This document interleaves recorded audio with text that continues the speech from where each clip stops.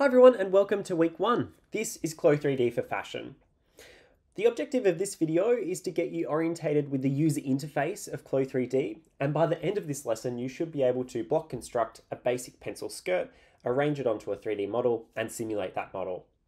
This is a revision video and is not going to go through each step but instead is just going to provide an overview of some of the content we've already covered in class. This video is created for students who already have experience in pattern making and are familiar with the Winifred Aldrich block construction methods. Okay, great, let's get into it. So on our right hand side, we have the 2D panel and the 2D panel is where we'll do all our pattern making. We've got our 2D panel toolbar on the right hand side and then on the left hand side, we've got the 3D area, and this is where we can orbit around an avatar and sketch and drape onto a 3D mannequin. So the first thing we do when we jump into Clo 3D is we need to insert an avatar. So on your left hand side panel, you'll see the word avatar. Double click on this and you'll see that down the bottom, it'll open up the filing system for the avatar. Now you can insert whatever avatar you like. There's female, male, kids, metahumans, and other 3D shapes. If there's not an avatar within this panel that you want, then you can jump online and download a model to insert. I'm just going to go with the basic female one. I'm going to double click into the file system and double click on the model to import it into our space. Great, now that we've inserted our avatar, it's time to get uh, a bit of an understanding of how we can navigate within this space. So I'm using a MacBook today, so to pan across, I can hold in my option button and this allows me to pan across in both windows. If you're using a PC, it's best to use a, a kind of a, a, mouse, and I recommend using a mouse if you're using a Mac as well. That way you can click down on your scrolling wheel and this will enable you to pan. To rotate or orbit around the 3D space, for me on a Mac, I can right click and I can orbit around this 3D model. On a PC, you should also be able to right click and orbit around this model. You can change all these key systems in your preferences under settings, um, preferences, and you can change the different shortcuts uh, to suit you. Uh, but this is kind of the default methods when you jump into the space. Okay, great. Let's have a look at the 2D panel. This is where you'll do most of your pattern making. Uh, as I explained in class, most students generally pattern make their garments in StyleCAD or Lectra Modaris, and then they would import their patterns into this space and basically just sew them together. But you can also pattern make in Clo 3D, uh, and I'm going to kind of familiarize you with some of these tools to enable you to pattern make. Uh, the good thing about Clo 3D is if you're ever unsure about a tool, you can hover over it and there will be a manual uh, and a video selection that you can click onto as well.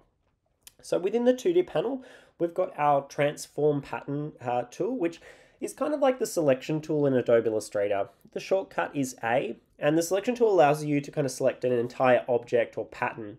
Um, so this enables you to kind of move patterns around um, and move a whole pattern around.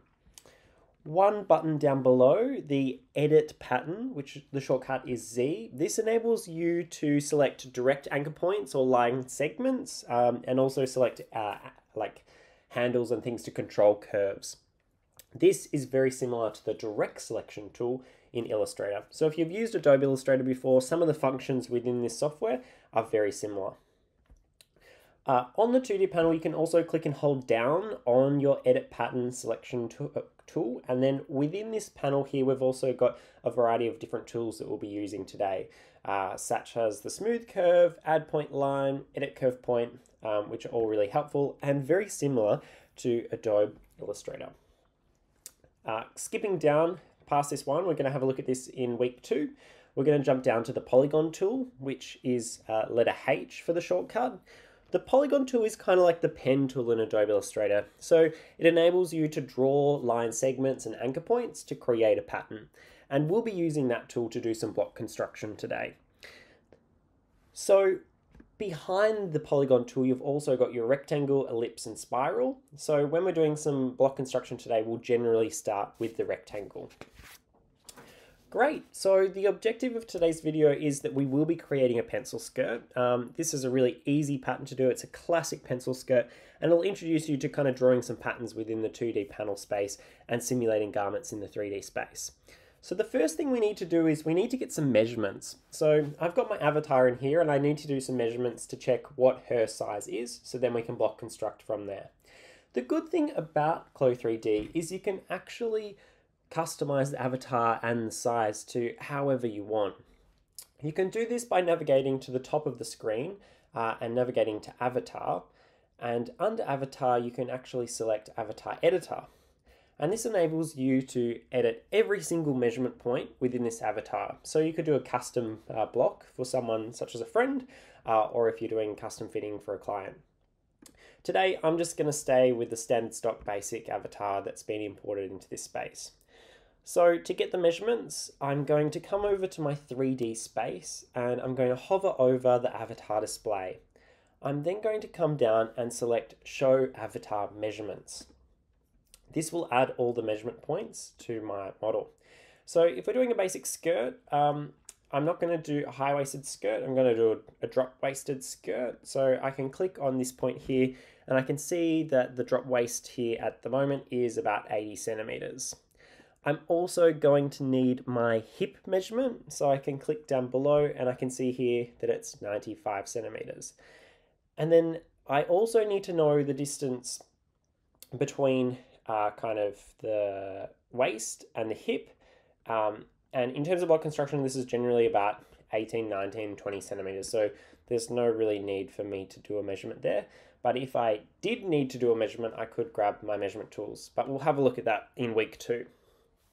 Great, so I've got my measurements. I know that the drop waist is 80 centimeters, the waist to hip is about 20 centimeters, my hips are 95, and the length of the skirt is up to you, it changes with styles, but I'm probably going to do about 65 centimeters uh, just above the knees there.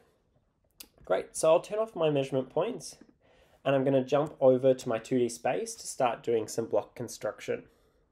So today I'm going to be using the Winifred Aldrich method, uh, but obviously you could use the Helen Armstrong block construction method. And generally when you're block constructing either in StyleCAD, Lectra Modaris, Adobe Illustrator, any of these kind of platforms, you do have to alter the method slightly. So it's always kind of up to you. Generally, you know, I've come up with my own methods of block construction in these digital spaces, but the principles are always the same. Uh, so I guess this goes without saying, but if you're a terrible manual pattern maker, then digital pattern making is just going to make you a faster, terrible pattern maker. So it's really important to make sure you master those manual pattern making skills before you jump into a digital space. Great. So I'm going to click and hold down on my polygon tool and I'm going to select rectangle. In my 2D space, I'm going to click once and it will give me a dialog box here to enable me to select uh, what kind of length of rectangle I want. So if we're doing the Winifred Aldrich method, what I'm going to do is I'm going to put the width at about 49.5 and the height I'm going to do 65 centimeters. And the reason I'm doing that uh, is because 65 centimeters is the length of the skirt and the width of the skirt there is because I've divided the waist into two. And I press OK. And this will give us our kind of block construction square here. So we're going to turn this into a front and back skirt, pretty much. So the next step we need to do is we need to add in the hip line point from the top of the rectangle. So we measured this before, uh, which was about 20 centimeters, 20, 18, 19. You know, you can kind of put them at any varying lengths there. I'm going to put mine at around 17 centimeters. So what I'm going to do is on my right hand side here on the edit pattern, click and hold down and add point. I'm then going to come over and I'm going to hover on this line. And you can either do this by eye and put in your point, but I'm going to right click and it'll give me my dialog box. And then I can see the yellow, um, which co correlates to this line, and the blue, which correlates to this line. So I'm going to add in, I know that I want to come down uh, 17 centimeters. So you can see now that I've added in a point here, which is 17 centimeters from the top here. What I'm going to do is I'm going to draw an internal line straight across. So I'm going to square that across and therefore we have our hip line. So on my 2D panel, uh, I can select the internal polygon line, which is just below the polygon tool. I'll select, click once, and I'm going to drag straight across and then I'll press enter to insert that line. So this puts in our waistline. Along the waistline, I'm going to measure one fourth of the hip and then I'm going to add, you know, a centimeter and a half uh, for some ease. So again, I'm going to grab my add point tool. I'm going to right click so I get the dialog and I'm going to put in my measurement of 25.25 and I'll press OK. And then I'm going to square up and down using my internal line once again. So I'll square up and press enter and I'll square down and press enter. So you can see our skirt block is starting to shape up here now. We've got our back side of the skirt here and the front side of our skirt. We've got our hip line and we've got our center side seam here. You can press shift to make sure that these lines are 100% straight and I can see by eye that that one there is not straight. So I'm just going to add in this one once again. So we've got a more straight line there. Perfect. Great. So now that I've got uh, both my side seams, all that I've got left to do now is to add in the waist uh, and add in my darts. So from the right hand side waist, I'm going to draw in the back side seam, uh, which is a point at around 24 centimeters, uh, which is a quarter of the waist plus, you know, 2.5 centimeters ease. It's up to you, uh, I guess, at the end of the day, how much ease you want to add to your block. Um, so I'll go 24 and let's see what that brings me. Um, I actually might do a little bit less. I'm going to do 23, 22. Uh, yeah. Perfect. Once you've done this after a while, you can kind of start to see how the block's going to shape up. So, and in terms of ease, I might do 21.5 is looking good to me. Great. And then I'm also going to do the same for the front. So I'll right click and this one here, I am going to add a little bit less.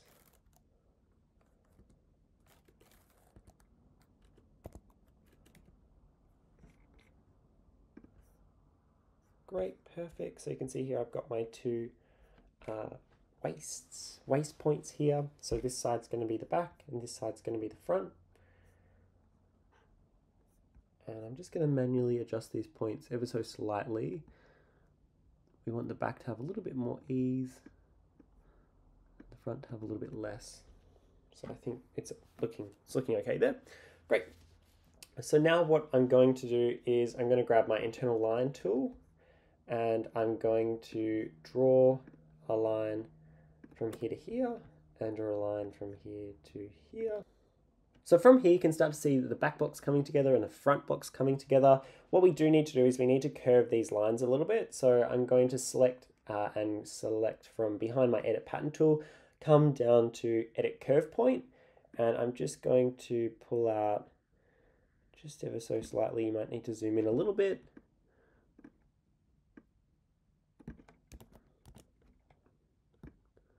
Add in just a little bit of curviness through there. Perfect.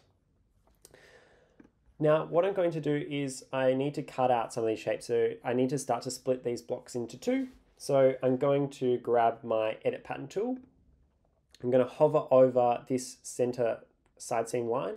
I'm going to right click and I'm going to select cut, which is great. And then I'm going to come up the top here. I'm also going to cut this one by right clicking. So now you can see we've separated the front and back together. Uh, I'll come up up here and I'm also going to hover over this line right click, cut, right click, cut.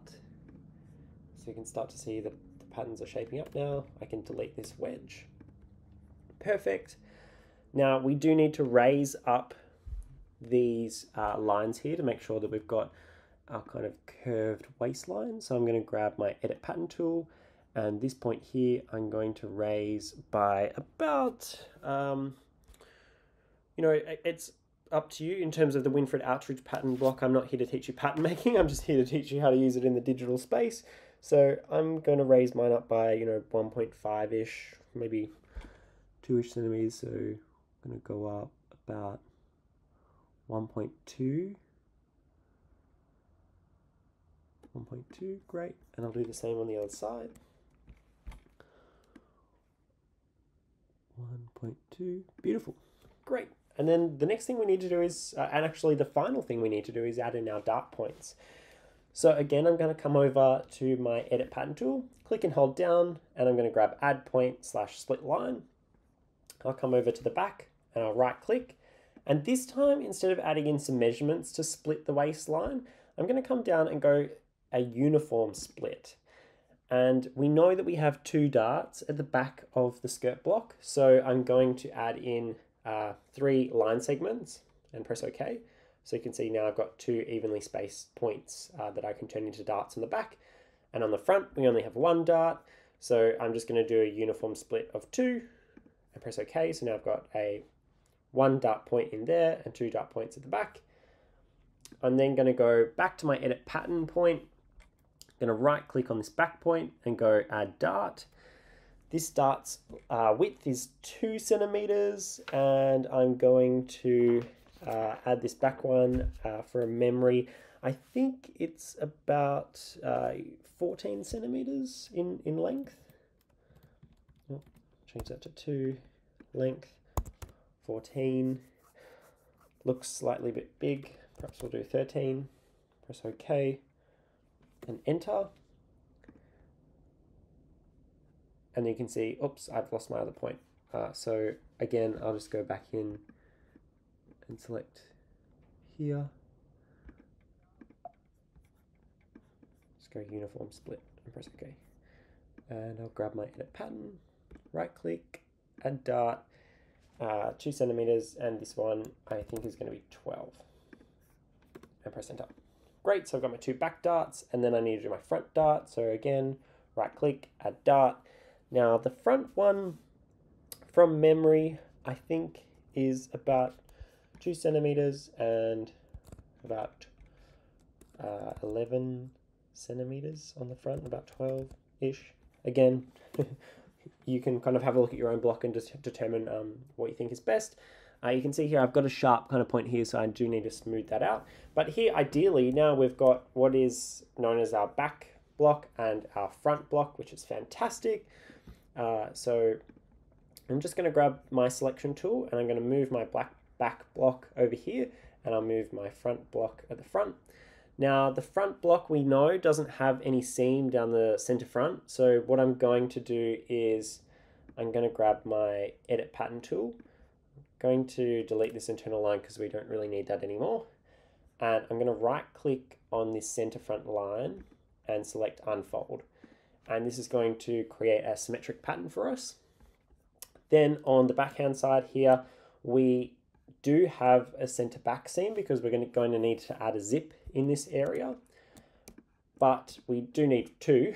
so I'm going to come up and grab my selection tool I'm going to right click and go symmetric with sewing, or you can go symmetric pattern, up to you.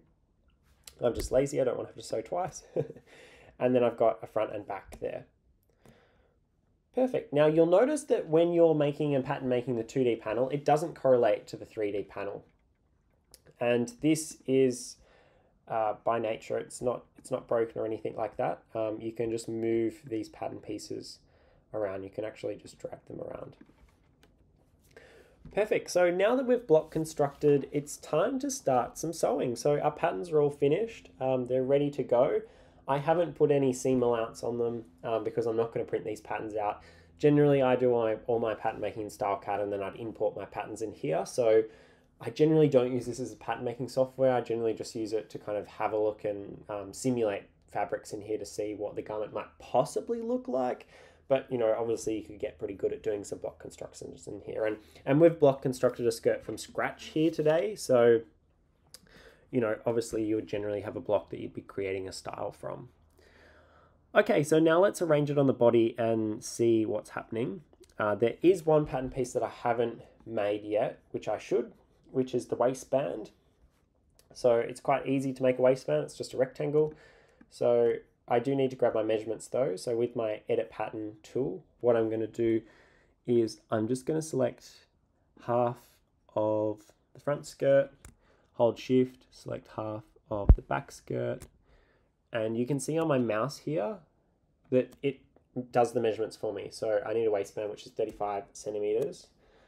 Uh, let's make that 36, and then the length is determined, you know, um, 36, and the height about 4 centimeters.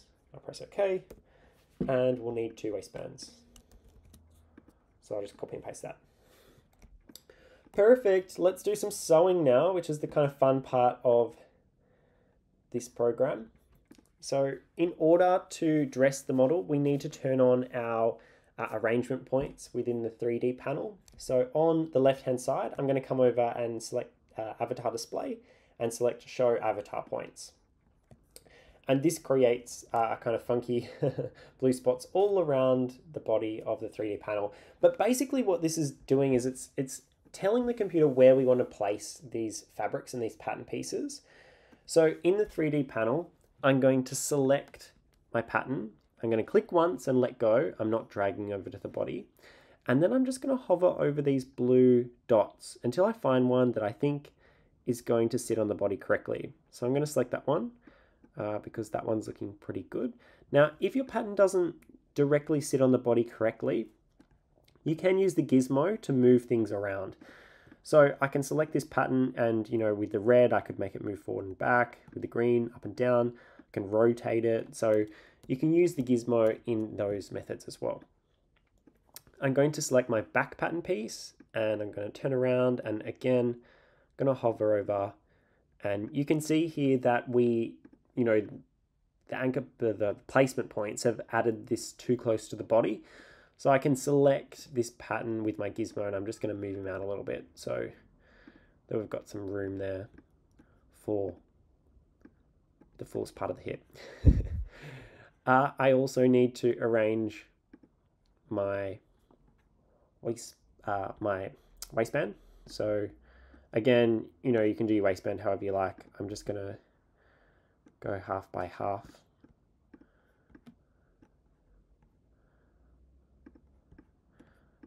Great, so once you've arranged everything around the body, you can turn off the arrangement points, like so. So I've got everything arranged around the body. It is looking that maybe I might not have calculated the waistband measurements too great, but we'll see how it comes together. The good thing about this is um, I've done this block in knitted fabric, so it's destined to fit anyways. So now that we've arranged our pieces around the body, it's time to sew, and this is probably the best part of the program.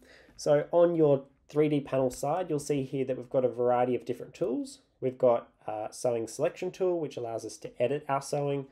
We've got the line segment tool. This enables us to sew uh, kind of straight lines and, and curved lines that don't have too many points in it. And then we have the free sewing, and this enables us to sew anywhere basically, so uh, across multiple points. For me, you can see that I've block constructed here with not too many points, but I'm going to show you both methods of how you could sew. Okay, I'm going, and you can select these tools both in the 2D side and the 3D side. I generally like to sew in the 3D side because it just uh, it makes more sense for me and I can navigate a little bit easier. So I'm going to grab my line segment tool and you can see here that the darts uh, automatically sew together. Um, you can see that by the colors indicated. The only one that hasn't seemed to sew together is this dart here, but let's just see how we go. Hopefully he decides to sew or I'll, I'm just going to tell it to sew. Um, hopefully we don't have any glitches there. Great, so in terms of telling the computer where to sew, you can just hover over the side seams. So in a skirt, obviously we need to sew the side seams together and we need to sew the waist together. So I'm going to come in, I'm going to select on one side, and then I'm going to hover over to the other side and double click to finish. Now, you can twist seams in Clo3D, so it's really important that when you're sewing, you're not getting this twisted seam here. Um, just like what you can do on the sewing machine in real life, you can do it on the computer as well. So make sure that your notches here are matching up. And I'm going to do this side and this side. So this is what is known as line segment tool. Uh, the other way you can sew in this program is the free, the free sewing. And the way this works is you click and you drag down over that line So this is good if you've got multiple points um, in one line. Double click to finish and then you click and drag on this side. The free sewing um, is not my favorite tool to use. I generally use line segment and I remove most of my anchor points um, where possible. Great, okay, now that we've just got to sew on the waistband. So grab my line segment tool, we need to sew the fronts together, need to sew the backs together, and we also need to sew um, this side of the skirt over here and this side of the waistband onto this side of the skirt here, which is probably the most complex part. so the easiest way to do this is um, what I'm going to do is I need to add in an anchor point halfway here. So I'll just go uniform two and I'll do the same on the other side. Right click, uniform split two, great. With my sewing tool, I'll grab my line segment tool. Oh, it doesn't quite look like those points were added. There we go, now it's in. And uniform split again.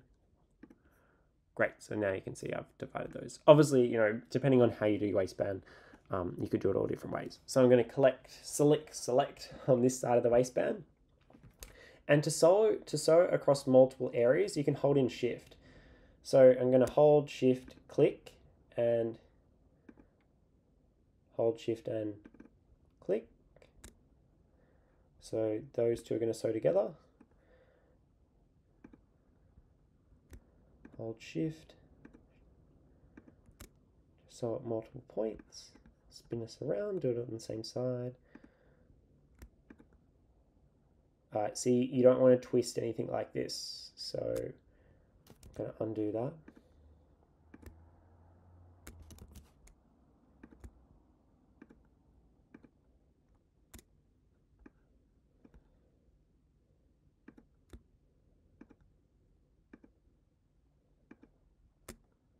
Great, so once you're confident enough that you've sewn everything, uh, now comes the fun part where you get to simulate. So to simulate, you can press the simulation button up here, or you can also press spacebar. Perfect, so you can see here that we've made our skirt. Oops, bit of a mistake. I um, Obviously you can see that I have forgotten to sew uh, the center back seam. So this is really good because what I can do now is I can undo this and we can uh, sew the back seam. So to undo or to reset your 3D uh, orientation, down here on your left-hand side, you can select this button, which is Reset 3D Arrangement, and that'll put all your pattern pieces back in place. So, silly Jye forgot to add the seam. Okay, let's simulate again. Perfect. So we're looking pretty good. Um, obviously, this is a, a, a low-waisted skirt, so it's a little bit uh, you know, it's not high waisted, so it's drop waisted, so it looks uh, a little bit different. But obviously, this is in stretch fabric at the moment. I can add it into a calico uh, or a cotton fabric by coming over to fabric, double clicking, coming down to something like a cotton, which is offers obviously a lot stiffer than what a stretch fabric would be like.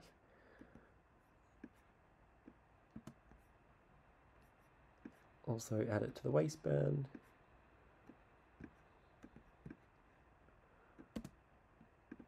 Yeah, so you can see it's a lot stiffer now. It doesn't really kind of drape as much. And there we go, we've made a pencil skirt. Obviously you would need to put in a zip, uh, you'd need to put in your sewing lines and your hem stitch lines, but we'll have a look at this in week two. Uh, so if you can get if you can get to this stage, um, you've done a pretty good job. Obviously, we also probably do need a bit of a split in this skirt as well, so this model can walk correctly. Uh, if I was to jump into Avatar and have a look at some motion to see how this dress might look in terms of motion, you can see that obviously it's going to ride up because there's no split in that back seam there and it's too long. So uh, you know that's something to take in for consideration but that's something we can have a look at uh, week two to do some more complex things. So I hope you enjoyed this week and I hope that you're able to get through all the tasks. Um, you know, the objective of this video was to really get you navigated with the tools so that now that you can start to create some more complex uh, items within here. Thank you so much. And I look forward to seeing you next week.